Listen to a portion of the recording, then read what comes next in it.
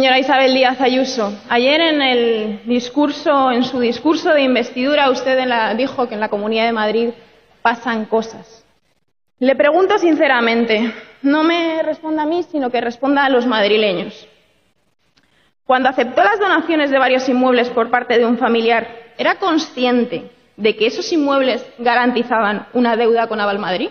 Solicitó y obtuvo de los administradores de Avalmadrid el compromiso de que iban a hacer la vista gorda con las donaciones que le habían realizado para apropiarse usted, no ningún familiar ni ninguna otra empresa, usted, de dos inmuebles eludiendo sus obligaciones con el dinero público para con los madrileños, de todos los madrileños. Y ya la última pregunta, señora Isabel Díaz Ayuso. ¿Cuánto tiempo cree que va a pasar hasta que la Fiscalía Anticorrupción pida su imputación. Le pregunto al señor Aguado cuál va a ser su papel en toda esta historia. ¿Va a hacer de escudero como tanto tiempo ha hecho de escudero con Cristina Cifuentes? ¿Va a hacer lo mismo con Isabel Díaz Ayuso? Sobre la legítima creencia que tenemos muchos de que la señora Isabel Díaz Ayuso termine dimitiendo tarde o temprano, ¿lo tienen hablado? ¿Lo tienen pensado? ¿Lo tienen pactado? ¿Tienen hablado de quién va a ser quien se haga con esa presidencia? ¿Va a serlo usted, señor Aguado? ¿O quizás pueden encontrar a alguien como el señor Garrido, que quizás es de consenso?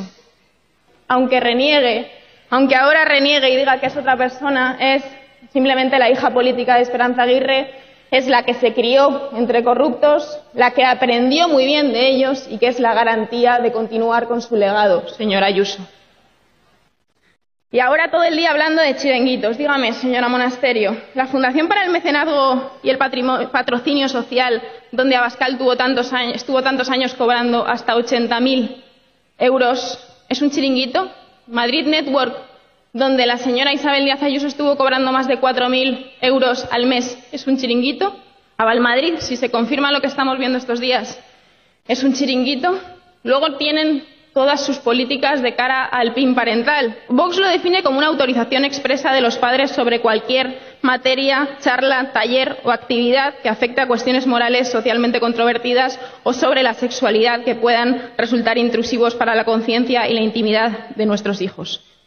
Señora Monasterio, la educación pública y sus contenidos, decididos bajo criterios académicos y públicos por parte de la comunidad educativa, tiene, entre otras funciones, evitar que unos padres integristas le enseñen a sus hijos lo mismo que, por cierto, le quieren enseñar ustedes a sus hijos y que eso sea lo único que escuchan esos niños. Es decir, tiene como objetivo proteger a los niños de padres como usted, señora Monasterio. Ni una palabra tuvo sobre el drama, el real drama que hay con la vivienda, con la subida abusiva de los precios del alquiler y con los desahucios. Y sobre la violencia machista, señora Isabel Díaz Ayuso, ¿cómo no van a combatir ustedes la violencia machista si nos dicen que quieren igualdad y acto seguido nos dicen que no quieren una guerra entre sexos, insultando al feminismo y nos dicen que las mujeres tienen los mismos problemas que los hombres? De lo que no nos habló es de la industria en la que verdaderamente la Comunidad de Madrid se ha convertido en punta de lanza de todo el país. Y es la industria de la pobreza y de la desigualdad. Efectivamente, somos la comunidad más rica.